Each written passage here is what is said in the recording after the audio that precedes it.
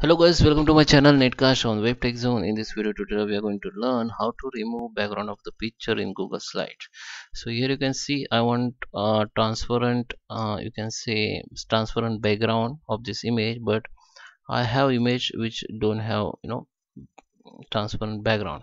So if you have already image in your computer or device, you can easily do this. If you have image on Google Drive and now you want to make it uh, transparent background then first you have to download this image. So if I click on it here you can see there is no any download option.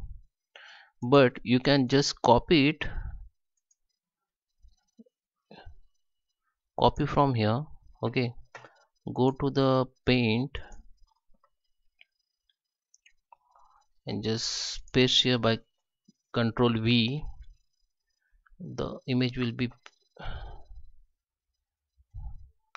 okay don't go to the paint because in paint it will be not work.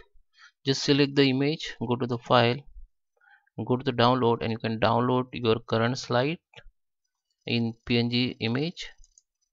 So it will be download okay. So this will image will be open you can see ppt and let it open the image. So this is image. Now if you have already image in your device so you have to post uh, uh, follow this uh, follow process. Go to the google and type here remove background.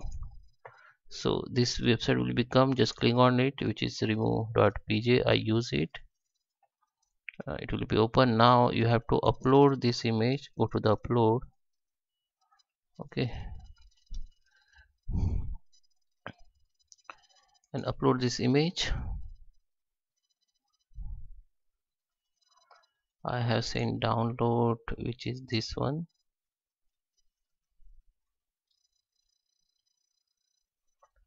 Ppt google slide. Okay. Now the image will be yeah the background has been deleted now just download as HD or normal. So okay download as a normal. So has been downloaded now just open the folder. And where it is downloading C in drive just rename it. Background remove. Okay go to the Google slide. Now easily you can insert this image from device. Okay let it see background remove okay so image has been done. You can crop it if you want. Just double click on it. Double click on it this crop option will become. Now you can crop it as you want. Okay. So now it is transparent you can see. So guys i hope you like this video. Please subscribe me. Thank you for watching